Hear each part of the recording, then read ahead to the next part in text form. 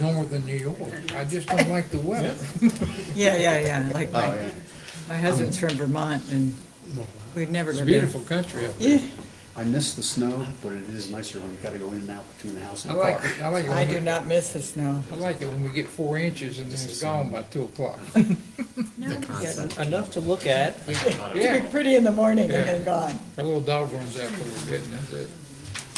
Well, I think we've got, uh, oh one, uh, so I'll let y'all finish getting settled there and we'll let Bobby let us know countdown when, if- when y'all are ready, if you're settled. Sure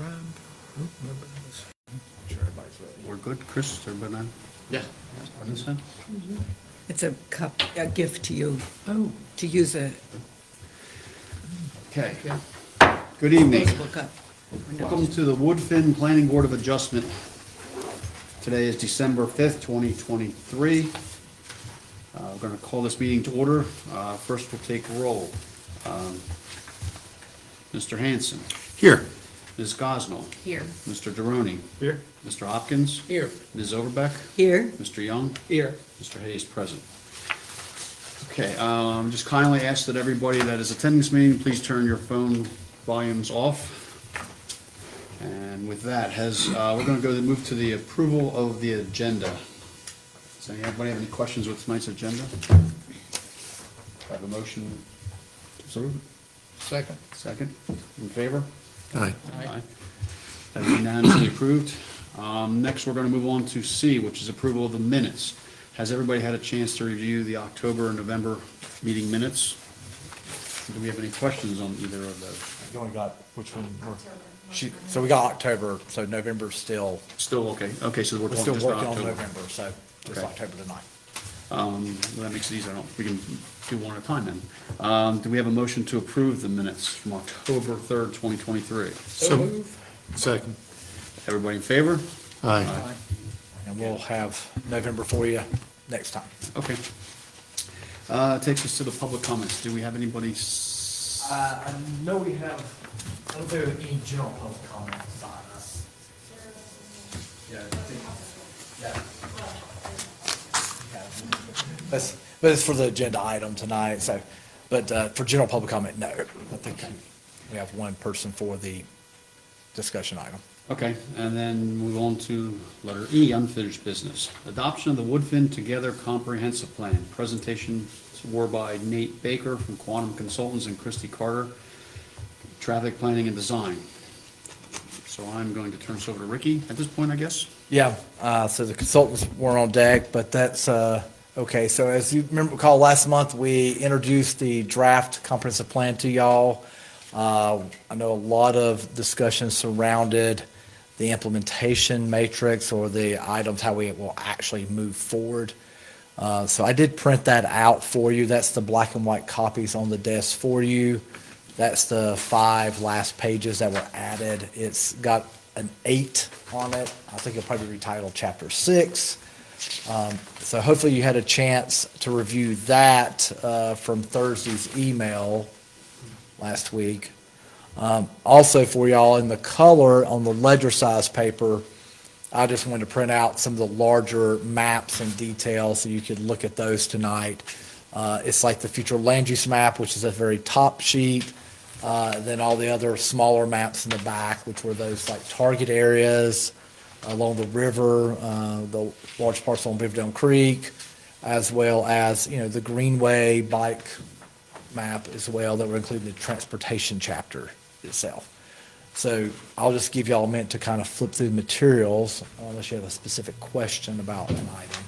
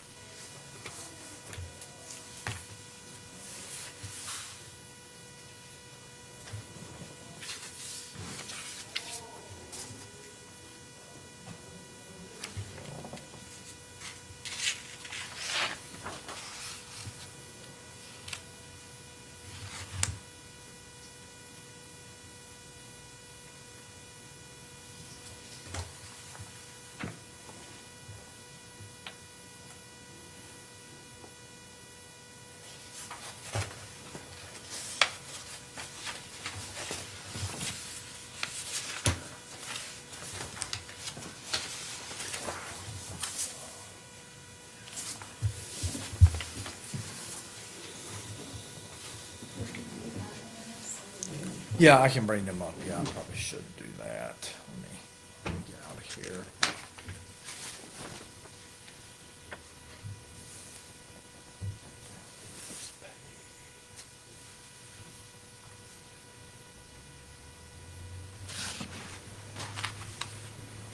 There's the future land use map. If there's a particular area on this map y'all want to zoom in on, PT, the PDF actually has a little bit better resolution. I think we had a good luck with printing a, like a twenty-four by thirty-six, um, out on this, uh, at least zooming in. So let me know if there's a particular area you want to look at. Yes, ma'am. Ricky, uh, I'm having a bit of a hearing issue today. Okay. So if you could be sure to project when you speak. Yeah, okay, I'll be, I'll be glad to. I don't, is that even working? That, Well, it was unplugged earlier today, so we had to crawl around to, there was a bunch of stuff unplugged in here. I think me Okay. Marie were trying to figure out what's going on. okay. That's fine. I'll, I'll, that's what I, Scott was telling me I was a little bit quiet on the phone today, too.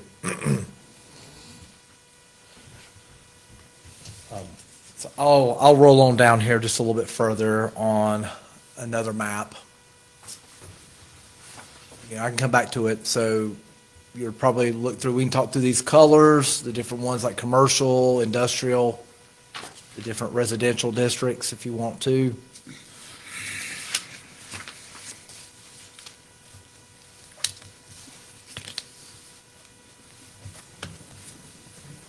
Has there been any changes since the last version we saw? Uh, Actually, I haven't seen a lot of changes. I had made a, a couple recommendations on the, the land use map that I still, uh, didn't see occurred, so we're going to check back in with them on the future land use map. I just, very, very small areas I had kind of enumerated.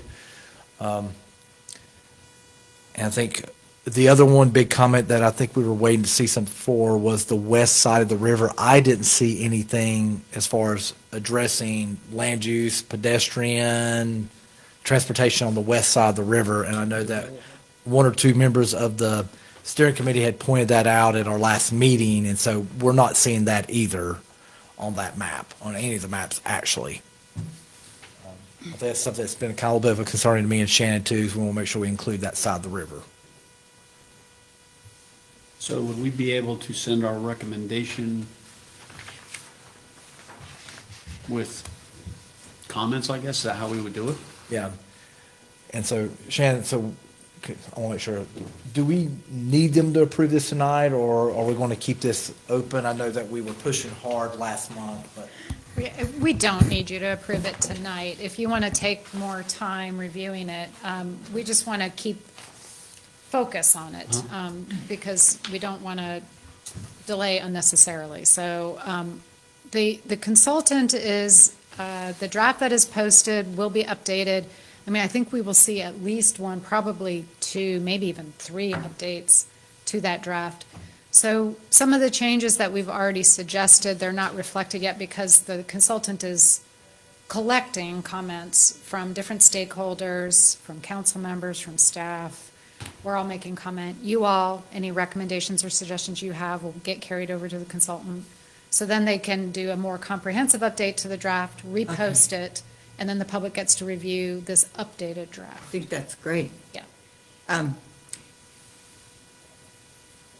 Do you know if, the if, have people actually been using that link to make suggestions? I've wondered if, if,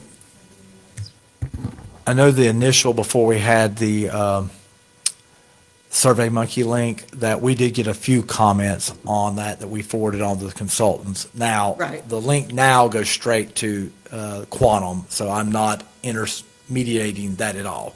okay, Yeah, so there's, there's a variety of ways people can make comment. They can email me or Ricky directly. They can email you, and you can pass on those comments to us, whatever. We'll, we'll take the feedback in any way that somebody wants to share it. Um, The online option is just, it works well for some people, but not everybody, so no, I know. you're not But- limited to that. You can certainly contact us. What about recommendations that we might make tonight? Is that, that's be on record, so we don't need to worry about sending you an email? Correct, yeah, We'll be taking notes tonight. yeah. So we're just going to review, we're not going to take it any further. You can, I mean, if you feel comfortable and you're ready to recommend approval, um, then you're certainly free to do that. Um, I would expect approval maybe with some conditions, or with the condition that, you know, for instance, as Ricky mentioned, the west side of the river gets looked at, or maybe you have something more specific you want to share. Um, But you don't have to. You- I don't want you to feel pressured to act tonight. Um, We just want to, like I said, just keep, keep focus on this. And you mentioned you expect a few updates, and you said there's already been updates, but that's, we don't have access to that right now, right, at this point? I, d- I don't think the draft, yes, the draft has been updated once, but I don't know if it's been posted. We may have received the first draft and made comments, and then they updated it and posted it.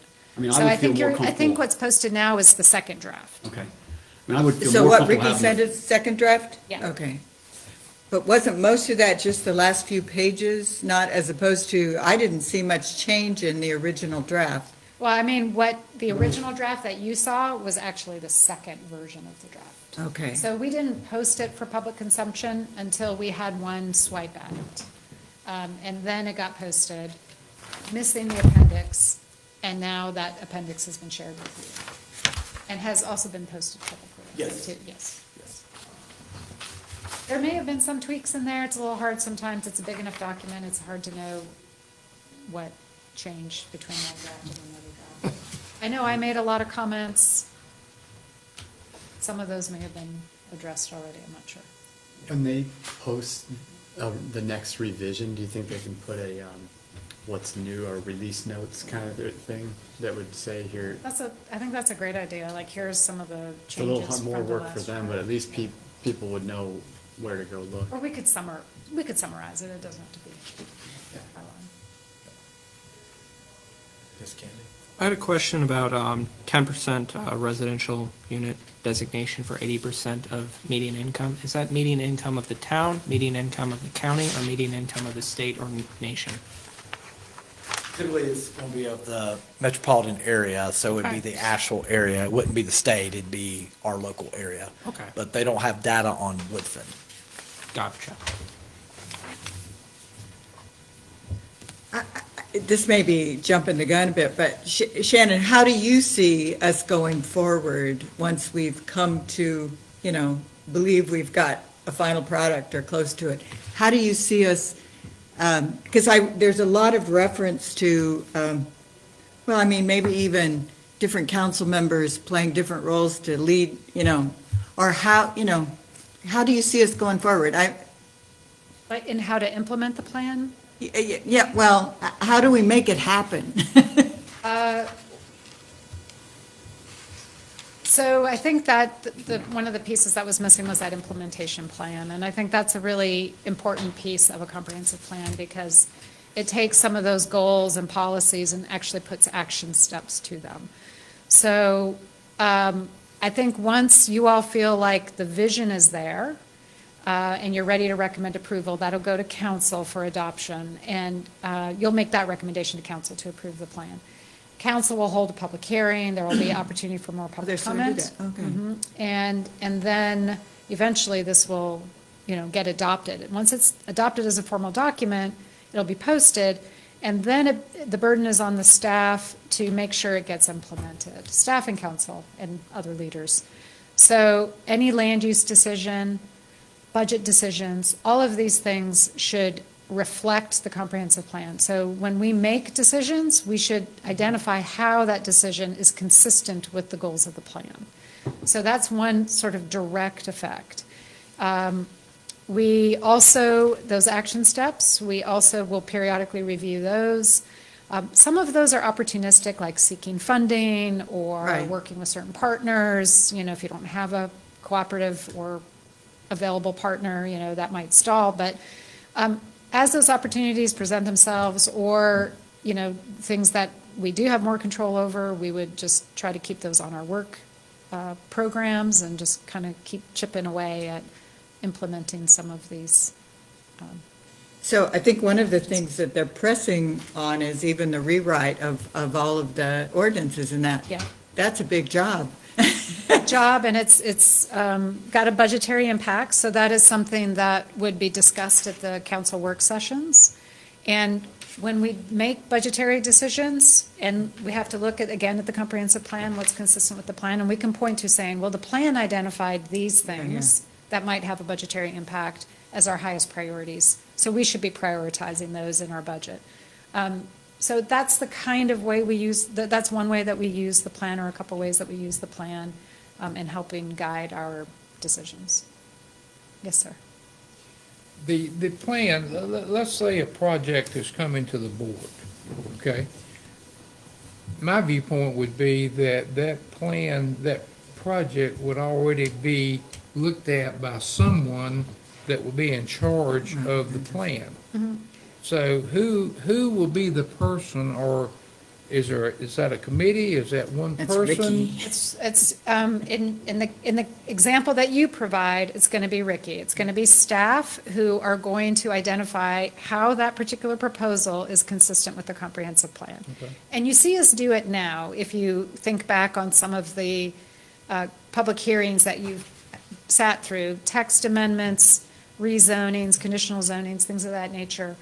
Uh, Your recommendation has baked into it how, you know, you recommend approval because it's consistent with the comprehensive plan in the following ways. So that's some of the analysis that staff will provide. Well, something like this, in my opinion, is not something that it should be really a committee that handles, because then you can get into finger pointing as to who approved it, who, who was concerned about it, whereas where you got a, a point, point of, point person that you can actually go to and say, is this approved? Is, is my point. So a comprehensive plan is first and foremost a land use plan. So your land use decisions are going to have a direct correlation with the comprehensive plan. So that is going to be the most common and frequent connection to the comp plan that you're going to see. So that, that is Ricky, Ricky, Marie, myself, we, we, we work in that realm. Um, But the comprehensive plan goes beyond that. We, we, actually, the conversation about consistency with the comprehensive plan predates before you see anything. When we meet with developers and they have a project idea, and we hear from them, and we will have a conversation with them about the comprehensive plan. We will say, this sounds great, we love your proposal, but this is a residential project, and our plan calls out, and I'm just using this as an example, our plan calls out and prioritizes affordable housing. How does your development proposal support affordable housing? Or how does your development proposal support sustainable growth? Or how does your development proposal affect transportation? So those are the um, conversations we have with them to try to get people thinking about what is important to the town and how can they support these goals that are important to everybody. Um, And then, you know, and, and the plan includes a lot of other sort of visionary thinking and big picture thinking um, related to public health, related to Transportation. transportation, related to um, sustainable growth, climate change, um, resiliency, community resiliency, all of these things.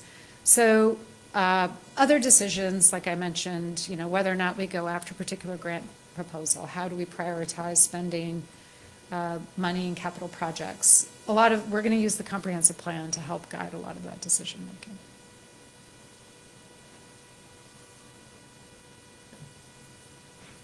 Well, I know my preference would be that we wait for the updates before actually, if we're, if we are expected to approve it, that's my preference. I agree, I feel more comfortable. I know we're, all- we're not, we're not approving something, we're just recommending, I guess you want to call it, or whatever. Yeah, yeah, yeah. But I think we should have the finalist version that's possible, the latest version, before we approve that. So if maybe wait one more month, if it's not going to be a big hiccup for the council.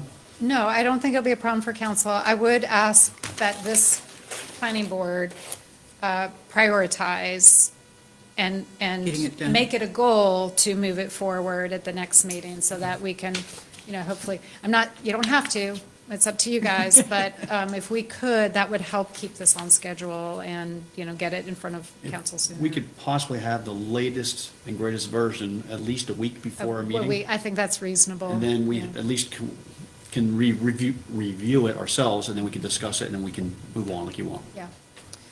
Agree. I have another question of Shannon. Uh, Do you see this section, though, the action thing, as something that is continually worked and redone and re, you know, because it's kind of like, you, you probably would be changing this a lot. You know, um, yes and no.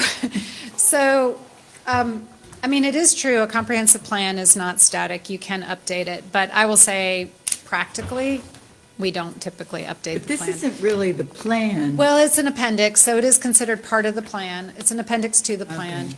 Um, I think what is, I- I would say, yes, we could, we could update that. I would say probably wouldn't be every year, it might be every two or three years, something like that.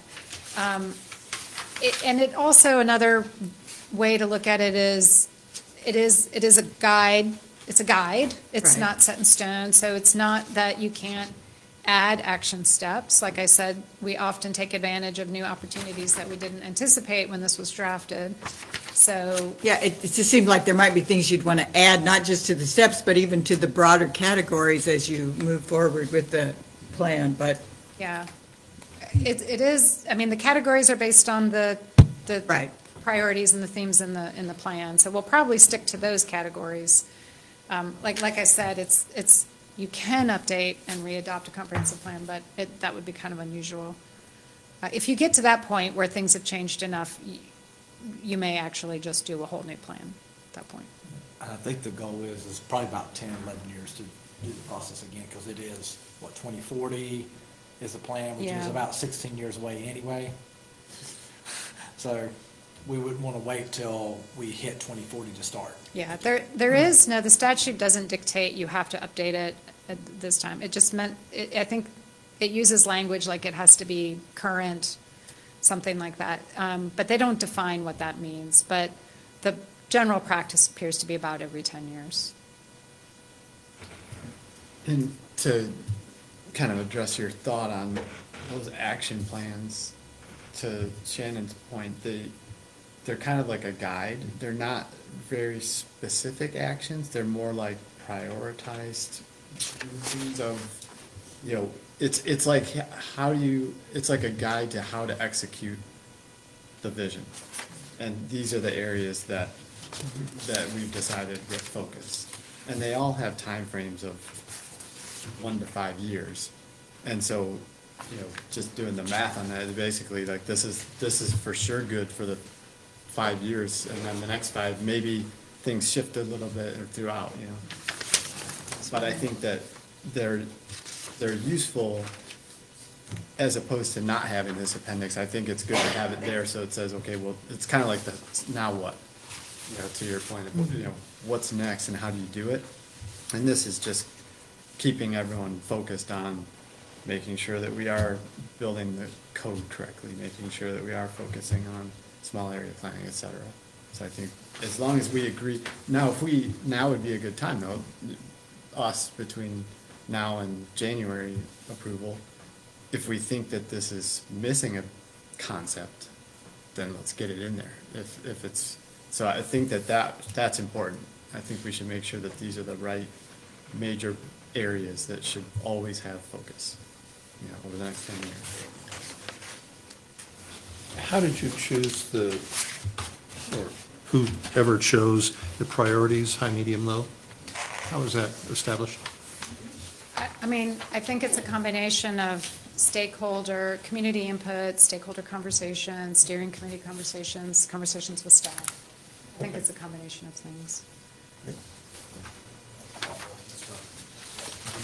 biggest which is the biggest, most effective thing is changing our zoning ordinance, which is like the biggest tool to get across the finish line. So that's a big one. It's a big one. Um, We, some of the staff feedback that hasn't been incorporated yet is to move some of the specificity, particularly in the transportation section. I don't know if you all noticed that too, but um, it's, there's some very specific policy or I, I keep calling them action steps because I feel like they're more like action steps and they might need to be really more, in I think they might be more appropriate in the implementation section. Um, So uh, you might see some, some more content shifted to the implementation um, and the plan itself be a little bit more broad, a little more general. Do you want to, uh, is it easy to pull an example of that just in Sure. general? Yes, Yeah, you go ahead. If you, you can drive better than I can. Where, I think I know where you're talking about, but I just wanted to s- see if I was on the same. Yeah, go. Um, Yeah, so uh, we'll just pause here It's not right here. as, yeah, that's fine. Um, Let me see, let me pick a good one. So, um, top right-hand corner, 2.2.3.2, partner with Buncombe County to add additional bus stops along Weaverville Road to make using the bus more convenient. To me, that's more of an action step. I think the policy should be something along working with community partners to improve um, access to bus transportation routes, or to make um, these areas more comfortable, or to expand the system, anything like that. But to be so specific to say we should add bus stops on, on a specific road, to me, that's more of an action step. Um, Now, there's a reason that this was included, and that's because there have been some conversations with DOT already. We need to identify some funding, and we need to, you know, kind of move that in that direction. We know that Weaverville Road is a NCDOT-controlled road, so we've already been having this conversation with them, but, um, but I think that's a little too specific for the body of a comprehensive plan. Um, Another 2.3.4, support design and construction of new art bus shelters at all existing stops on Elkwood Avenue. Again, very specific, specifically naming the improvements, specifically naming the location. I think I would want to say, improve bus shelters, um, or, well. Woodfin. Yeah, we don't have too many in Woodfin.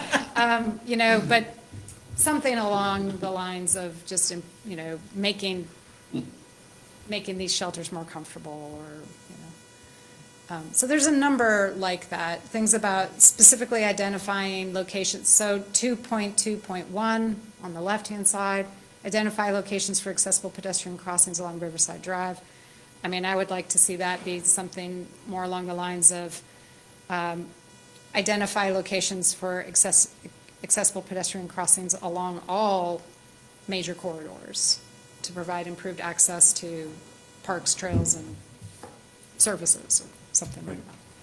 Yeah, that, that, I completely agree with you on that thought of just in general, making it, making it the whole general point and not necessarily a specific place. Because once that's done, then it's like you check something off the list and now this becomes stale, you know, mm-hmm. dated. Yeah, uh, but, you know, and if, if we explore something on Riverside Drive and DOT says, well, we can't do that, but hey, we can do something on Elk Mountain Road, you know, we've identified this as a priority, what do you guys think? And that's a major corridor too, maybe we want to shift our focus. Or maybe there's a new opportunity because a developer is going to do a project on one of these roads, and now we have an opportunity to make some sort of improvement that we didn't have before. So keeping the plan a little bit more general gives us more flexibility. And, and I think you're absolutely right, that these are not policies, the ones I'm reading. In, so on transportation uh, in general, when, it seems like we're, we're limited by what NC dot controls versus, uh, uh, the town. Are, are there, you know, is there just an overarching, you know, agreement or partnership or something that we can go to NC dot with that says, hey, here's what we're trying to accomplish in this, in this vision here across this time frame, and get them to kind of just assign someone to go, okay, let's go work through all these issues and kind of build a plan with them, dot specifically. Yeah, we work with both the NCDOT on certain things, um, especially when we have a- like a focus on a Riverside Drive or an Elk Mountain Road or something like that. But we also work with the MPO on prioritizing projects that include state-maintained roads. And they also help um, connect us to funding opportunities. So we've worked with the MPO in the past, just this last year, and got a grant to um, to do a bike ped plan um, for all of Woodfin. And then we also got a grant, I forget from who, um, to um, study greenway feasibility from Woodfin to Weaverville. So um, so yeah, we definitely maintain those conversations with them. Um, and it's wide ranging. It's everything from speed enforcement to pothole repair to, yeah, accessible crossings and. Cool. Yeah, that, that, okay, that, and that would stick more along the lines of what you're saying, is keep these to say partner and not necessarily with who, or even. Yeah, coordinate Whatever. with state agencies or coordinate, with yeah. Yes, sir. One of my concerns with the plan was the fact that it didn't address the west side of the river like I thought it should, because we have plenty of uh, citizens on that side. Um, And I see that, you know, that's coming. Um, I think there's a great, a much better potential over there for development. The question would be how to do that. And uh, I think through trying to get water transmission lines to that side, uh, because developers, they're not gonna pay a lot of money to hook, to, to, to run a line to get to it, but if we could get it over there, then give them the opportunity to hook onto it, I think development would grow a lot quicker on that side of the, uh, river. Yeah. Um, th- There's a number of reasons why we're looking at, you know, exploring opportunities to expand sewer and water service on that side. It's, it could allow for more infill development, but it could also help replace failing septic systems, failing wells, um, you know, giving people another option to clean, safe water. Um, we, that is one of the main things that we want to address in this. And I, I should say, it's not that the plan doesn't address the west side of the river, it does. But I think that side of the town has some unique challenges and some unique opportunities that we haven't really addressed in the plan. And I think we could do a little bit more, such as looking at opportunities to expand water and sewer service. And I don't know if that's something the water board could participate in or not. Being on the board now, I'm- that's one thing I could explore. Is there monies available from the board to go with what could be, um, Come to my neighborhood. We would love to explore, you know, because we have a water authority that's separate from the town, um, some monies that might be available to a municipality for improvements, um, such as water utility extensions, aren't available because the water utility is not part of town government. Um, But there could be other sources of revenue, and we've recently spoken with some of our state legislators about what could be available, how do we position ourselves to take advantage of that, or to, to poise ourselves to, to receive this money. We've, we've seen and known other municipalities to receive public funding to help with utility projects. Um, We would like to know if there's a way for us to do that as well. So there, I hope that there's an opportunity to work with the new board to explore this. I, um, it certainly would help to have all of the partners, MSD, Woodfin Water, and the town, kind of collectively going forward. we had, we had meet and greets on that side of the river, and it was sad to hear those people talk about they, they couldn't even vote for us. Yeah, And that, that's the type of things we're gonna try to change yeah. and improve this nineteen thirty-one charter that we're under.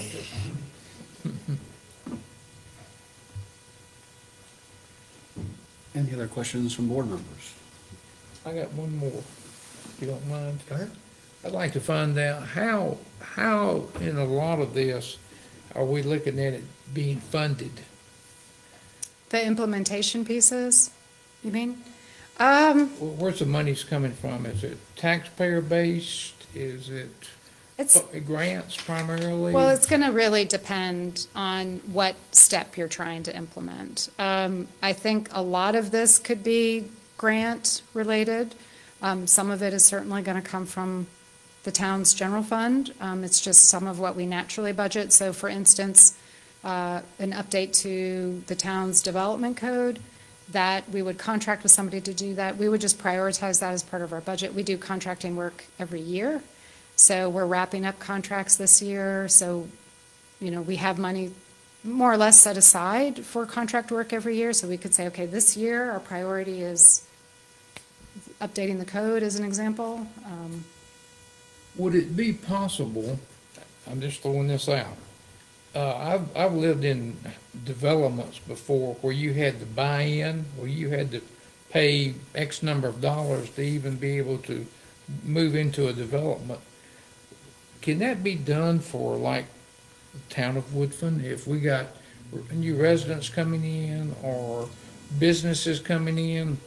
Could they pay some kind of entry fee that would help offset? No. We want affordable State- housing, Larry. Well, I State is understand. I mean, I- It um, doesn't need to be an Affordable housing, exorbitant. but Yeah. a ten thousand dollar deposit. You're, you're, you're describing something kind of similar to an impact fee, um, and the state of North Carolina does not allow impact Okay. fees. Answered my question, I just wondered, That's a good one. trying. Can anybody top that one? Um, Ricky, so we don't have any more questions at this point. Um, I know we're gonna talk about moving this till next month, but uh, I believe we have a public comment section, we don't have. Okay, so at this time, can we open up the Oh, public? I had one more question, just in general on the, it's a quick one. Okay. Um, I gotta, I gotta watch the clock too.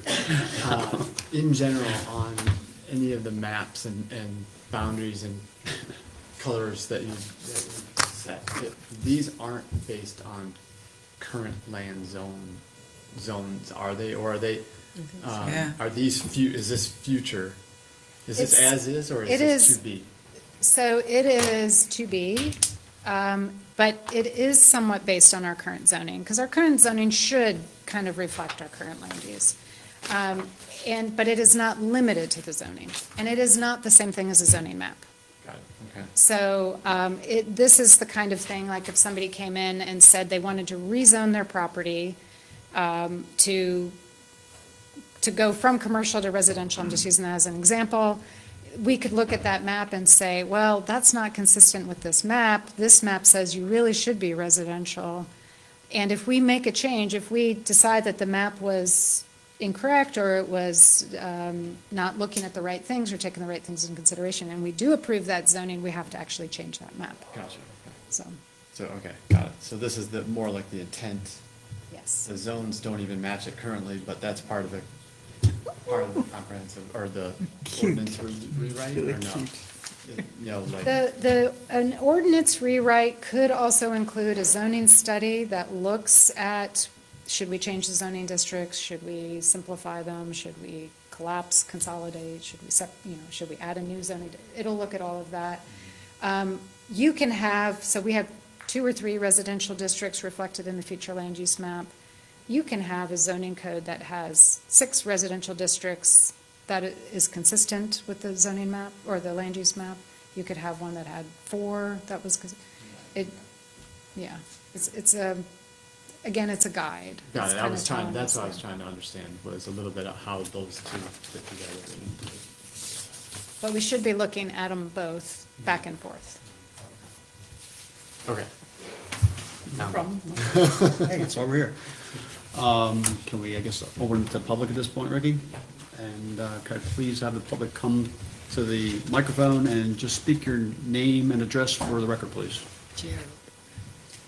I'm Gerald Green. I live at 28 Eastwood Boulevard, not in the town of Woodfin. My wife and I have owned a house at uh, 8 Pelzer Street for about 20 years and have lived there sporadically. Moved out of it the last time about two years ago because it was a bit small. So, and my uh, comments are going to be through the lens of living in East Woodfin. I'm glad you addressed West Woodfin on the other side of the river, but there's also a division that keeps us in East Woodfin from feeling like we're part of the town, and that's the interstate interchange just down here, which needs to be addressed more fully in the uh, plan. There are a lot of uh, goals and policies that address multimodal communicate, our transportation options and connecting the town, but there's no, not much of a mention of that interchange other than as an activity center. And the uh, commercial land use that's applied there makes me think of convenience stores with a Bojangles drive-through or another hotel. And even the commercial land use classification is, seems a bit archaic because they're, in a town like Woodfin, to address the goals that are set in the plan of connecting that needs to be mixed use. And so a mixed use classification rather than commercial, I think would be better in the plan and better address the goals or mesh with the goals that are in the plan. And I'll try to be quick because I want to get home and eat dinner too. There are a few other things. I I think it's a really good plan. I'm on the, uh, the town's uh, Parks and Greenway Advisory Committee also, and just to mention that Greenway should be looked at as transportation options is good. The, uh, the emphasis on multimodal transportation options is all good throughout. The, um, there are a couple of things I'd like to, to uh, address that I don't think are so good. I'm an old guy. When I look in the mirror, I realize that. And I think of uh, investing in your neighborhood and community is good. The uh, comment that limited negative and undesired aspects of gentrification makes me think that that's encouraging the LLCs and the investment groups that own a lot of homes on Pelzer Street are giving the latitude to continue what they've been doing for years, which is taking every penny they can out of their property and not putting any investment in it.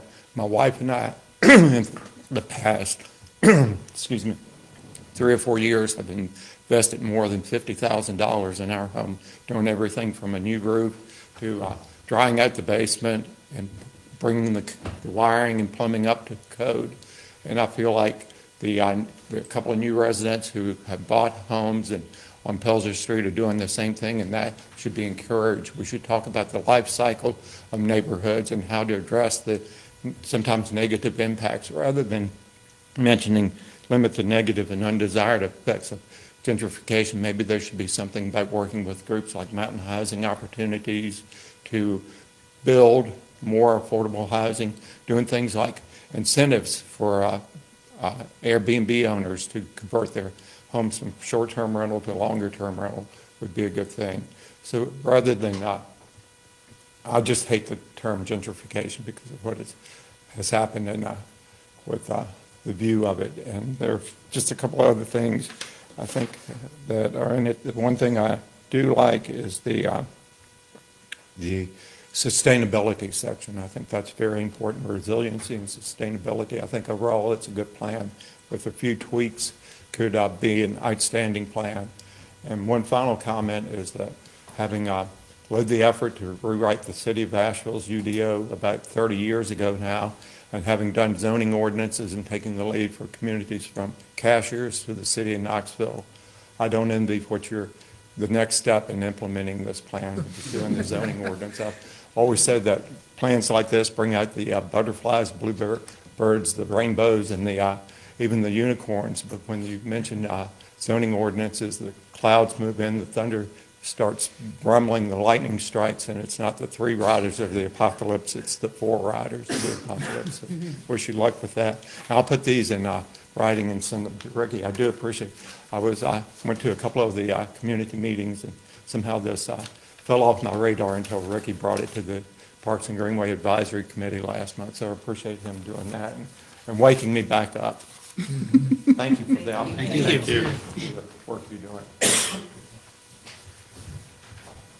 So Ricky, do we need a motion to table this till next month, or we just do a verbal?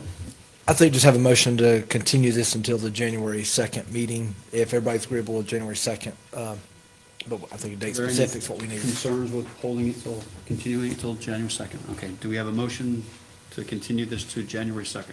So move. Second. Second. Everybody in favor? All in favor? Aye. Motion is approved. Uh, With that being said, um, That's all that we have tonight. no, I, st- well, I still want to talk over your Oh, calendar. yeah, yeah, on the calendar. Yeah, I want to make sure everybody's good. So we brought to Ricky's attention that Election day. election day, and since it is a high-profile election, we should probably postpone our meeting.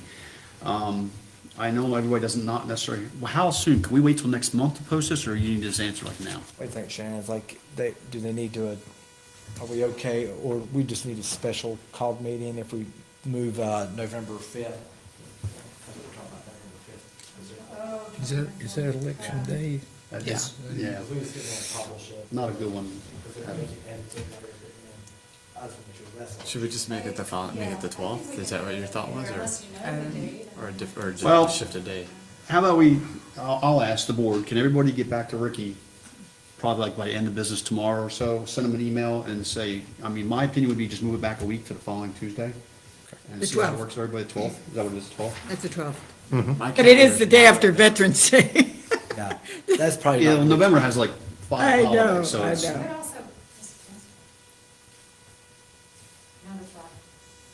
Com- Combine November and December. I don't have a problem doing that, so what would the board, I mean, because we publish it now, that if there's no meeting, there's no meeting, because we do it at the Yeah. beginning of the year.